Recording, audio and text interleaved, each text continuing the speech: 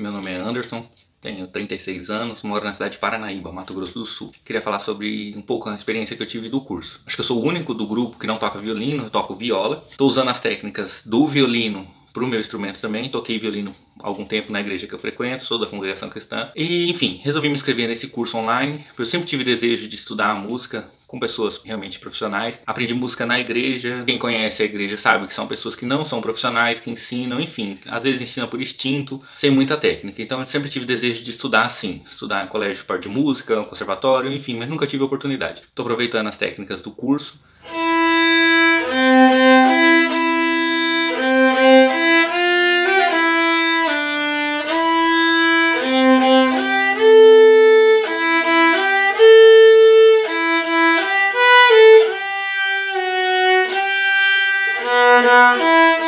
para melhorar aquilo que eu toco, aquilo que eu aprendi do jeito que eu aprendi. E também porque eu acabo ensinando na igreja também. Então, para poder ensinar melhor, formar músicos melhores e pessoas melhores. Então, o curso para mim está sendo de grande valia, de grande proveito. Aprendi muita coisa que eu tinha aprendido por instinto, de uma maneira que eu tive que corrigir de mim mesmo e para poder ensinar melhor a questão do violino.